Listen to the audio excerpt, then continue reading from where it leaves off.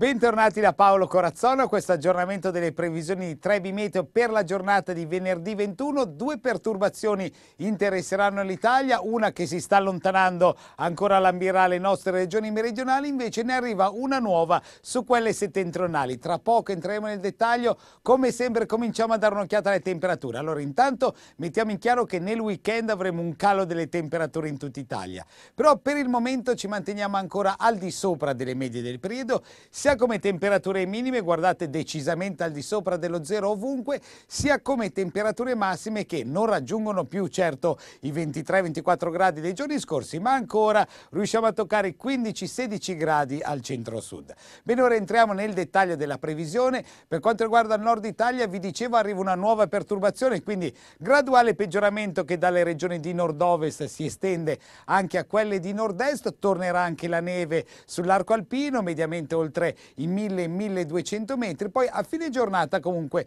situazione in miglioramento a cominciare dal settore occidentale.